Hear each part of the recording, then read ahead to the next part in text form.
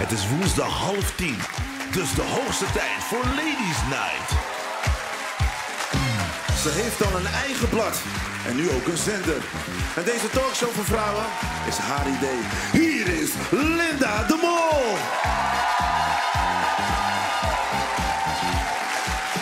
Deze Rotterdamse journalist staat bekend om haar scherpe mening van nog scherpere eyeliner. Hier is Fidan Ekies.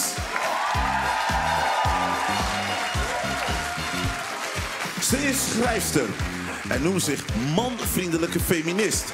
Met het zelfvertrouwen van een gemiddelde witte man. Hier is Stella Bergsma.